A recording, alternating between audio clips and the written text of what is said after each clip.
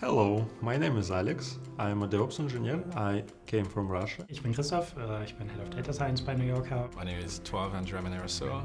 I'm a staff data scientist at New Yorker. My name is Alexei Shabanov. I have been working in New Yorker for seven months. Hallo, ich bin der Philipp. Äh, Ich bin ursprünglich aus Österreich. Mein Name ist Pedro, ich bin seit etwas über vier Jahren bei New Yorker inzwischen.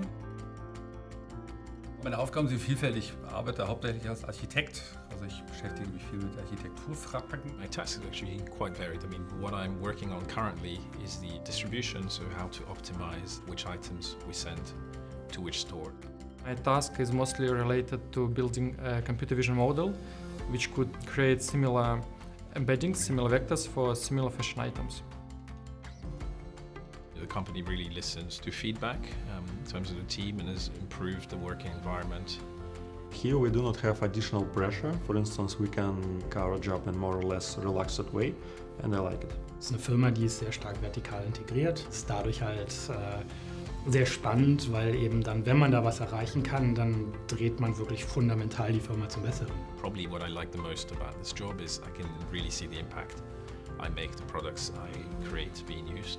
The other thing that's really great is I have a lot of flexibility in how I work. It is uh, pretty international. We have uh, teammates from around the world. I think I would say the you know the atmosphere is quite collegiate. So I think you know regardless of your title, I think your opinion is quite valued. Wir sind alle offen und sind alle motiviert und alle wollen, dass das gesamte Team weiterkommt. Das ist für mich das Ausschlaggebende. Also wo man sich umeinander kümmert und wo man eben nicht nur am Nebentisch sitzt, sondern auch den Mensch sieht bei man. It's just really great having really kind, nice colleagues you can learn a lot from, and everyone is willing to go out of their way to help each other. Also das Wichtigste ist, dass man offen ist ja, für neue Aufgaben und dass man ein gewisses Stück äh, Selbstständigkeit mitbringt. Neugier ist was, was für mich unheimlich wichtig ist, die Bereitschaft, Neues zu lernen, sich auf Neues einzulassen.